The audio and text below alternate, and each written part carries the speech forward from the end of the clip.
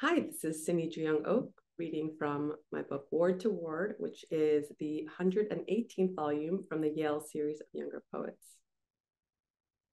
This poem, Home Ward, from Ward Toward, can be read in multiple ways as it's set up in stanzas that stand alone and are set up as a blueprint of a hospice ward room.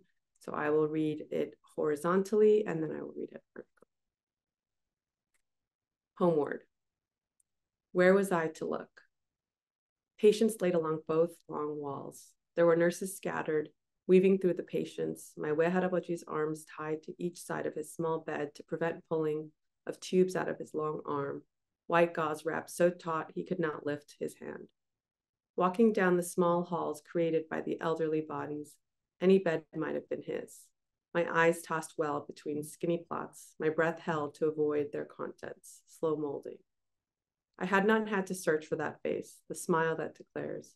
His two detained liabilities were so thin to me, a stranger holding his hand. Their theory our elders are less lonely in these rooms of sweat and whimpers. I dream of him for the first time, months later, silhouette body filled again, strong and smiling as we clutch. In months, he would be dead in every way. But I would not fly out because of my school schedule, the cost of travel, Across the northern border, his other descendants picture him at 30, father, frozen. Home Ward. Where was I to look? Patients laid along both long walls. There were nurses scattered, weaving tubes out of his long arm, white gauze wrapped so taut he could not lift his hand. Walking down the skinny plots, my breath held to avoid their contents, slow molding. I had not had to search for his hand. Their theory our elders are less lonely in these rooms of sweat and whimpers. I dream of cost of travel. Across the northern border, his other descendants picture him at 30, father, frozen.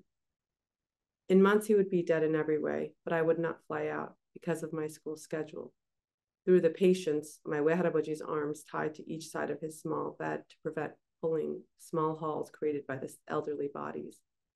Any bed might have been his, my eyes tossed well between that face, the smile that declares. His two detained liabilities were so thin to me, a stranger holding him for the first time.